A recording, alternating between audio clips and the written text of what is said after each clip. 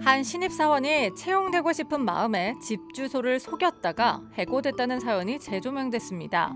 지난 19일 온라인 커뮤니티에는 집 주소 속였다가 해고당한 신입사원 논란이라는 제목의 글이 올라왔는데요.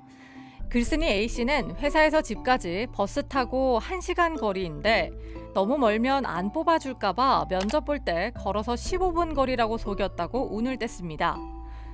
이어 면접에 합격해서 출근하자마자 등본을 제출했는데 상사가 왜 주소가 회사랑 이렇게 머냐고 물어봤다며 사실대로 말했더니 표정이 굳어지더라고 회상했는데요.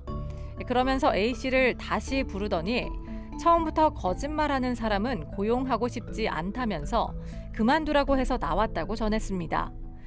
결국 A씨는 첫 출근과 동시에 해고를 당했는데요. 사연을 접한 누리꾼들 사이에선 회사 대응이 과하다는 의견도 나왔지만 대다수는 처음부터 거짓말인 사람을 믿기는 힘들다. 저런 거짓말을 너무 쉽게 생각하네. 시작부터 거짓말인 사람을 믿기는 힘들다. 이력서에 허위 사실을 기재했다는 게 포인트 등 글쓴이의 행동을 지적했습니다.